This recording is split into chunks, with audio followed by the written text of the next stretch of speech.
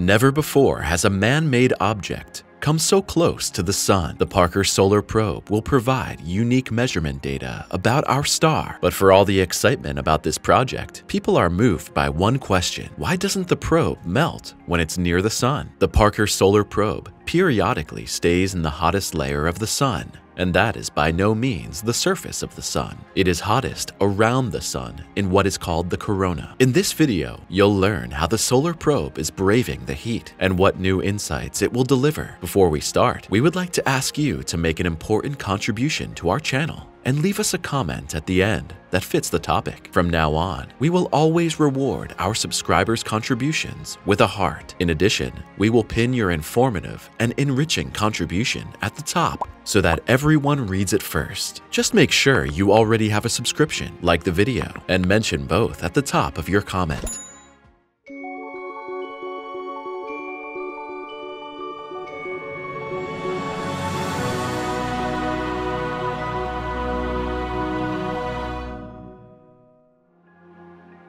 The Journey to the Sun Exploring our star is of utmost importance to us Earthlings. Without the sun, there is no life on our planets. Our climate and seasons depend on solar radiation. The activities of the sun also constantly influence the magnetic field of our planet, and some people even claim that solar storms have similar confusing influences on the human psyche as the full moon. From a purely scientific side, Astronomers and cosmologists would especially like to learn more about the hitherto mysterious processes on the surface of the sun and the corona. Corona means wreath. This thin glimmer around our sun can only be seen from Earth with special filters or during a solar eclipse. The corona is a great mystery for scientists until today. After all, temperatures of up to 1 million degrees Celsius prevail in this layer, which is located several kilometers above the surface, while the temperatures on the surface of the sun are only about 6,000 degrees Celsius. The sun, like its corona, is not equally hot everywhere. On the surface of our star, constant mergers take place, things bubble up, and forces swirl around. It is similar in the corona, only there, the heat is in the form of the finest particle clouds. These clouds or evaporations are directly influenced by the activities on the surface of the sun. The particles, which form the corona, are formed by the fiery processes on the sun, or at least are influenced by them. These interactions are not yet known exactly, and it's one of the tasks of the Parker Solar Probe to find out more about these connections. Behind the effect of the extreme heat formation in the environment of the sun must be physical forces and probably also chemical processes, which we do not know of so far. Perhaps we could even benefit from the probe's findings with regard to our own energy industry. Just think that the electricity that you draw from a wall socket always comes about through the generation of heat. If we were also able to generate temperatures or heat using the same trick that the sun uses, we might be able to generate larger amounts of energy much more easily or multiply energy in a simple way, and possibly in a more ecological way. In addition to studying the enormous heat generated in the corona, the probe is of course also measuring the famous solar storms. These are gigantic particle eruptions. The winds originate in violent eruptions on the surface. During these eruptions, plasma and particle streams are released, which initially waft around in the immediate vicinity of the sun. Eventually, the charges also enter the corona and are released from the sun's gravitational pull by a mechanism that is also still largely unknown. Then these particle streams drift away from the sun at extreme speed and out into space. If these particle streams meet the magnetic field of the Earth, this is extremely shifted and stretched. Experts assume that such solar winds can override the complete earthly electricity if they reach a certain strength. Solar flares and winds have been intensively researched for not quite 100 years. This was enough to find certain rhythms in the eruptions and the winds. The sun is usually subject to an 11-year rhythm. Within this time, the eruptions occur in certain patterns. The winds were almost predictable for a certain time. Then suddenly, the behavior of the sun changed. At first, the activity weakened in an unusual way. Scientists were already worried, but then, suddenly, the solar activity increased again. These events happened completely outside the cycles known so far. So far on Earth, we cannot be sure that the sun shows extreme whims in its behavior from time to time. Since this could be dangerous for our increasingly technical world, it's of utmost importance that we learn more about the sun. A total loss of electricity would plunge the planet into indescribable chaos within hours. So the Parker Solar Probe has an enormously important scientific mission in many ways.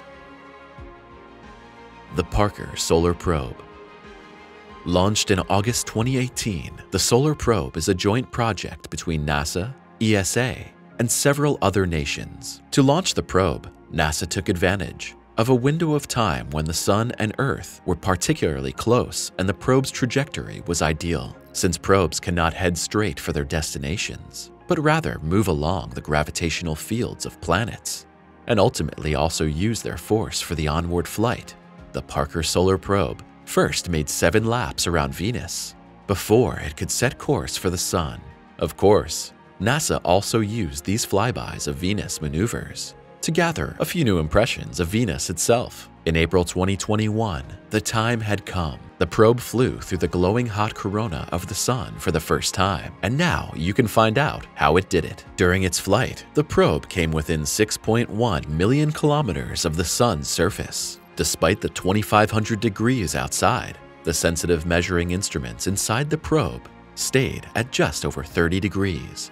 International teams of scientists engineers, and technicians spent nearly 10 years tinkering with this masterpiece. Key to the probe's success is a sophisticated thermal protection system that includes special materials, a heat shield, the probe's position, and a water-powered cooling system. The Hopkins Applied Physics Lab in Maryland, USA, was responsible for building the water cooling system. The thermal protection system has two layers of carbon fiber reinforced carbon, which retains its structural properties even at the highest heat. There is also a carbon foam between these layers. There are such large air pockets in these fibers that hardly any heat is transferred. On the outside, the Parker Solar Probe is completely encased in white aluminum oxide. The color and material reflect light in an optimal way, so the outer covering reflects more heat than it absorbs. Between the carbon and the aluminum oxide is a layer of tungsten. This almost white and very dense heavy metal only boils at a heat of 5900 degrees Celsius. Due to the separating layer of tungsten, the outer skin and the carbon layers inside the probe practically cannot react with each other. The heat stays outside, even under the extreme conditions in the sun's corona. The position and trajectory of the probe is programmed to always keep the shield toward the surface of the sun to ensure that the Parker Solar Probe can still look directly at the sun. Cameras and measurement sensors have been placed so that they just barely peek out from behind the protective shields. The flight through the outer corona. Even on its next flights, the Parker Solar Probe will only pass through the outer layers of the corona, and only for a very limited time. In these outer layers, the amount of hot particles with which the probe comes into contact is very small. The heat transfer will therefore remain at a tolerable minimum. You can roughly compare the flight of the probe through the extreme temperatures to reaching into a hot oven. As long as you don't touch the metals or any heated food in the oven, you won't get burned if your hand stays in the oven for only a short time. The Parker Solar Probe's fly-through times are specifically designed to correspond to a short dwell time in the oven. Although the probe was perfectly equipped, the scientists and engineers on the first pass held their breath when the Parker probe remained fully functional on April 28, 2021, even at temperatures approaching 3,000 degrees. There was great joy among NASA and all the other facilities involved. At a speed of 586,000 kilometers per hour, the probe briefly raced through the corona once, took initial measurements, filmed a stream of particles, and departed after only a few hours. During the times when the probe is far from the Sun, it periodically approaches Venus or Mercury again. Of course, the scientists would like to use these times to explore these two planets closest to the Sun a little more closely. Also, during these periods, the probe again uses the gravitational forces of Venus to accelerate and set a course toward the Sun with renewed vigor.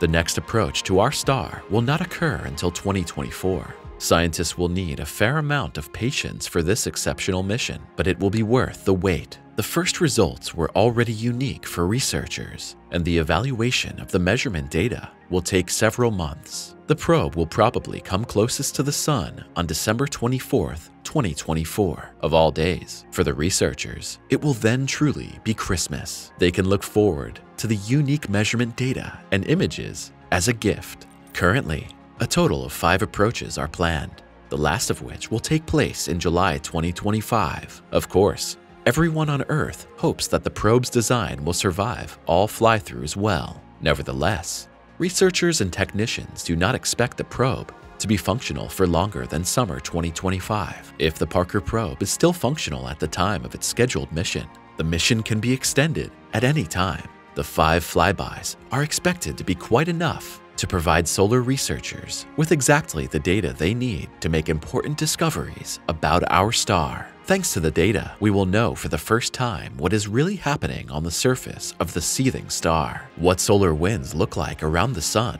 and of course, what processes contribute to the sun emitting its radiation in specific cycles. The probe was named after the US scientist Eugene Parker. It was he who coined the term solar wind, and Parker is still considered a pioneer in the field of solar exploration. Here at Simply Space, we'll be sure to keep you up to date, and we look forward to sharing the most important solar exploration news with you soon. Now, you tell us what you think about the Parker probe's unique design. Do you find it fascinating what technology makes possible, or do you take it for granted? We welcome your input and personal opinion on solar exploration and the Parker probe. Remember to mention your subscription in the comment, if you have one, and to like the video. We're glad you joined us today, and we'll see you next time.